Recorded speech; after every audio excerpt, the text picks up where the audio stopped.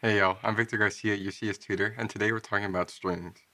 Now, in Java, uh, you can think of strings as those bracelets that we used to wear as kids where uh, you get a little string and you put uh, just beads with symbols or letters on them in a line or on the string and they spell out words and that's pretty much exactly how Java does it because Java uh, they just use characters so a character could be like any letter, uppercase, lowercase, or any of the symbols on your keyboard. Uh, Java makes strings is that it just connects all those characters together in a line, like how I did here with strings.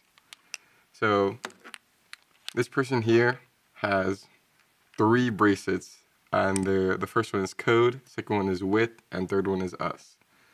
Now let's say uh, you don't want three bracelets, you want just one um, just because I don't know, uh, it's too much on your wrists. So let's try and connect all these bracelets together.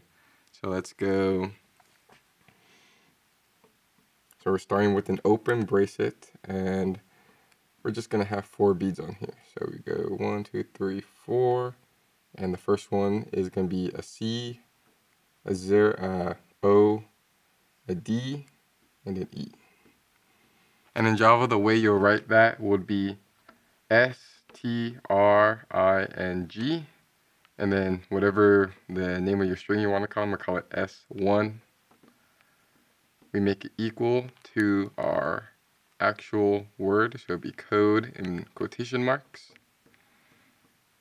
And this is telling Java to connect these characters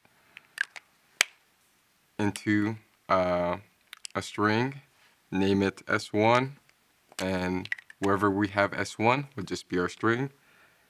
So there we go, we have three strings and we just want to make one big bracelet. The way we do that is we literally just grab the end of this bracelet and let's connect that to the beginning of this bracelet. And now we have only two bracelets now and let's do that again with our first bracelet and connect it to our last one. And there we go. So this would be our start. Let's call this zero, and this would be the end of our string. So this would be end. So now in code or in Java, the way you'll, that you'll do this is let's make another, let's get a new color in. Let's make another declaration. Here we get string and we'll call this S4. And instead of just uh, using uh, code with us, let's use our previous strings. And let's do S1 plus S2 plus S3. And if we were to print out S4, we will get code with us. And as you can see, there's no spaces because we never added a space character or a blank uh, bead. So whenever we connect these, you can think of it as this bead going directly to this uh, bead or this character going directly to this character. There's nothing in between and that's why when we do concatenation we have to make sure that uh, if you want spaces that we have to explicitly uh, tell Java that. So just do a white space. Then S2,